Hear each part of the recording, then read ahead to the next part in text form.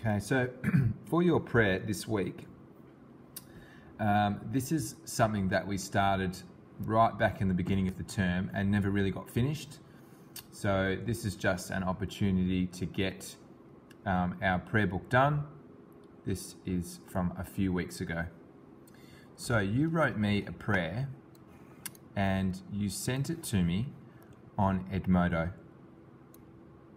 And if you haven't done that, you still can. Um, you can still do that. But the point was for me to proofread it. So the grey is the prayer that Finn sent me, and this is the reply. So I obviously made a few very, very small changes, and that's the proofread version.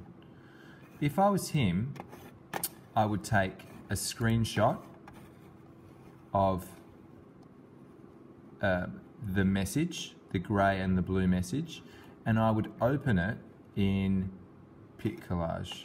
I would open this as a picture, a screenshotted picture in PicCollage. And that way I can type, I can type this, this proofed red prayer straight onto a PicCollage. And I don't have to go open it, close it, open it, close it, open it, close it. If you screenshot this from your iPad and you open it in PicCollage, then you can copy the message straight into a text box. We decorated it nicely. We added some pictures. We made it look good. And then the final step is to airdrop it to Erin. Okay, Erin has got a book on Book Creator that has all of our prayers in it. So when you get to school, and your prayer is finished, you can airdrop it to her. She will show you how to do that. Okay, if Erin has your prayer, your homework is done. Thanks.